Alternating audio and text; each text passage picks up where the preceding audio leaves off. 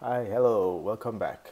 All right, so this is where we ended the last time, and so we're gonna be moving on to intermediate now. So that was the last part on four parts on um, HTML basic, and now we're gonna move into intermediate. But before we do, um, I'm going to just turn on the Git um, plugin here and um, commit uh, this file that uh, we changed in the basic directory and I'm just gonna say commit. And I'm gonna say um, you know ended with you know presentation tags or something. Okay uh, whatever. All right. All right so I'm just teaching you a little bit to get along the way. Um, and next time I'll do something commit something from the command line for those people who are not using brackets and want to use a command line. So okay so that's basic. Now we're intermediate okay? Um, we're looking at presentation tag when we were on um, doing basic stuff. And so now we're going to start talking about the layout tags. And so um, this is going to be, it's going to look like, so this one is kind of weird, the one we're going to talk about today. By the way, we're talking, this is intermediate one, part one, and we're talking about the table tag today.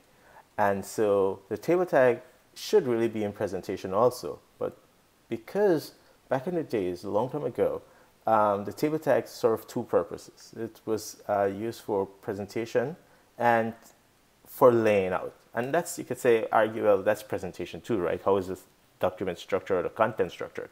But we'll see that the way in which it, it can be used, or it was used back then, um, because the table tag is so flexible, you could use it as a kind of like a grid system, okay? But let's, we'll get to that. And that's why I put the the table tag in this intermediate part, and that's why I'm bundling it with the other presentation um, layout tags that we're going to cover, div and span. So section, editor, those other ones. Anyway, so let's just start with table. So you could see here, I started off with some contents. I didn't want to waste time, you know, me typing it up. So I, I put some um, text there, right? And so let's imagine that I had name, age, social, and last four digits of social security number of some people and I wanted to present it nicely in my HTML, you know, on a web page. Now you could see I try and write it up here, and I put some nice bars between, and it looks good in the source. But even, but when I put a markup and I render it, even without the markup, and if I try to re render it, the web browser simply doesn't respect um, my new line or my spaces, right? You know, how many doesn't matter how many spaces or tabs I put here my web browser is still not you know respecting it and rendering it properly. So fortunately, table comes to the rescue. So let's create a table and put this in a table. So again, as you before, we're gonna learn what we need to learn as we go along. So I'm not gonna explain too much until you need to do it. So table tag, and so every tag you put a opening tag and a closing tag. Open tag is a less than, da. I'm going to stop mentioning that because uh, I think you guys going to see the pattern by, know it by now. And so with a table tag, you have uh, essentially a row and then cells. So how do you find a row? You say table row. So that's the table. Um, that's how you define one row of a table. And so for each row, you can have a cell. And so here's a cell. You said table data. That's how you define a cell. And so you can say name goes into this cell. And um, age go into this cell. Oh, we had another table data. And we said this is going to be age. And we do another table data because this is a cell. Another table, each table data maps to a cell. Okay, so that's how you define one cell in that row. So table data, cell, and social security number, you know, last four digits or something. Last four digits. Okay? And um, so look at that, that's showing up there. But up to so far, it doesn't look any different than what I had above, right? So, or what I really want here. So I'm gonna put this in a comment because I said this is kind of like what we want to have. And so uh, let's keep it there for kind of like reference to see what is it that we want. And then we'll try and make this kind of renders that way of course without this. And actually we can get it to render better because we can put some line all around it. Hey, we'll, we'll see, borders. All right, so if this is uh, one or a first row, and you can see when I click here, it highlights that row. And this is, you know, one cell, the other cell, another cell. and here is the row. Well, I want a second row. So table row, then table data, and what goes into the cell? John Doe. The other cell is table data 35. The other cell is table data uh, 1239. Okay? And we can repeat. Rinse and repeat. Come on. All right, table data, table row. And uh, I actually use an editor, another editor when I code as, instead of um, brackets. I use bracket because there's this live preview that we, we, we get, but it's annoying. It doesn't do all the beautification and it's not terribly smart on certain things. But anyway, table data, no complaining, it's free. Um, Jane Smith. And notice what happened just now. When Smith was so long, too long, it was longer than the previous col um, values in that same column, right? This is a column, row, and then each one a cell. Notice how it pushed over the entire thing. Let me type something else and see you see. Uh, so the table is taking care of that nice formatting for me. And so I don't have to pad it with spaces. It's automatically doing it for me. And so 21 I think I have up there. Uh, 21 and then close that table data. Table data 21. 21 and then table data uh, 9031 okay? So already you can see it how the table is kind of structuring our information a little better than what we had. Now before it would have been nice to have um, these things bolded or something right? You know these are the heading for the table. We can have those bolded. That would be nice. And so we can do that too. So let's do that. Let's change these table data to just th. So table header. And so the table th is just like a table data except that instead of you having to, so the other way of accomplishing the same thing would be to do this, to put bold around here. And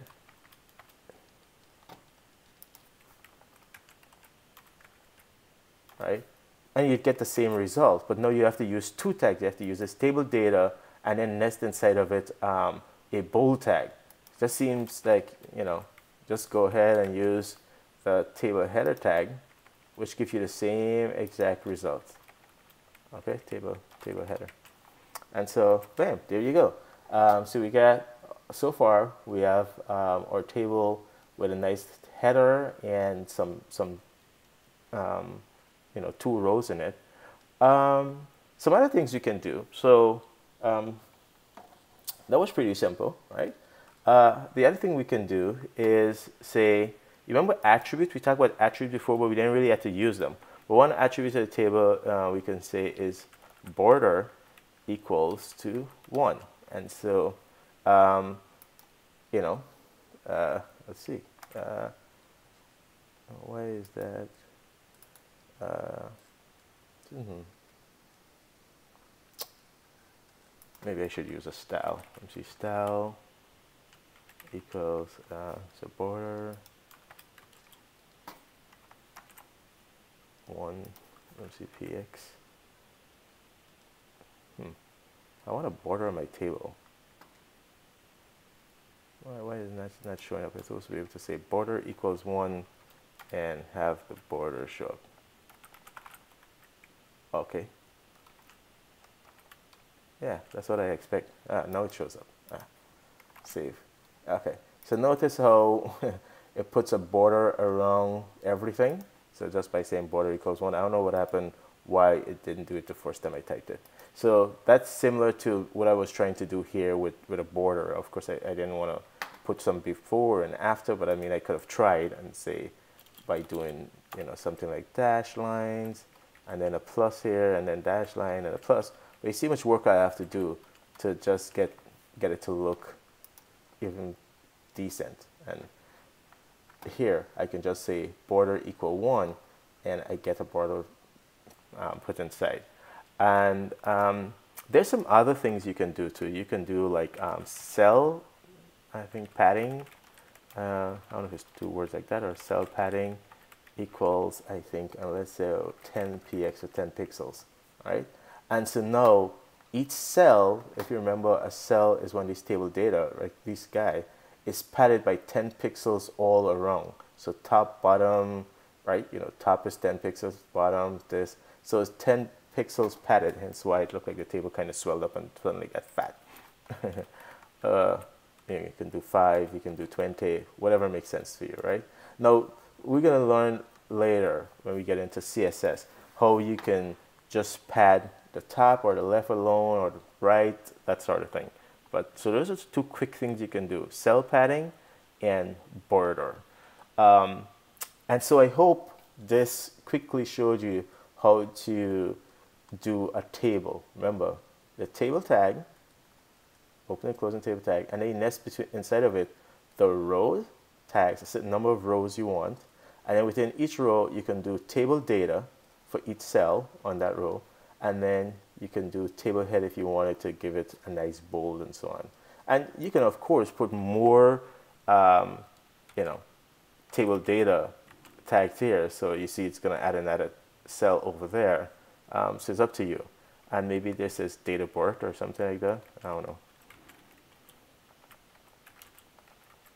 Whatever that's going to be. I to do any calculations, but whatever, right? And so um, you could put another cell. Um, of course, it's it's not a nice even table, but nice square table. But yes, there's nothing wrong with some rows having more cells than other. It's just going to be, you know. And then there are ways in which you can put, you know, with multiple cells in one column. So if you wanted to split this row, for example, you can do things like that. Um, it's called row span and column span, so that you can combine two things. Um, let me see what the time look like here um, because I don't want to run over. Um, okay, so that um, is I think enough for this video. Show you how to use um, the table tag and with header with a table header tag also, so you can have bolded cells and you know if you want, you can go to the reference here and look up table tag and actually see a few more example of some things, other things you can do uh, with the table tag. Okay. Um, there's some other tags you can use inside the table like T body and T head. You can play with that. Um, so this is just a basic example to get you, you know, get you going. Um, we, I can't show you everything. Um, one, because I don't know everything is one, and two, uh, it's just enough to know something exists and where to find the rest of the information. So as you build out your application and your website and so on, you can say, oh, I can go look and see what else I can do, um, you know, uh, in my for my table or in using a certain tag. Okay. So that's it. And thank you for your time. And we'll continue looking at some more um, layout. Again, this one is still kind of presentation, but you could see before I go, you could see how somebody um, how somebody could without border here, so you could see the line, could use this to lay out a table, um, a website, for example, um, that might need you know a bunch of cell. So uh, let's say CNN maybe, I don't know, or a newspaper website where you might have well-structured information, um, nytimes.com, right? Um, so you might use a table to create these different little pockets here, okay, all these cells. So, um, so that's what people used to use it for, okay? Use in addition for you know just laying out information, but they also presentation information, they also used to use it for the structuring, actual structuring of the, the website. And later on, we got some better tools and tags for doing structuring the website. So people hardly use table now for it. Uh, but I hope you get the gist of it. Take care, and I'm for the time run over. Thanks and see you in the next video. In HTML Intermediate Part 2 is the next video. This is Part 1. Thanks for your time. Bye.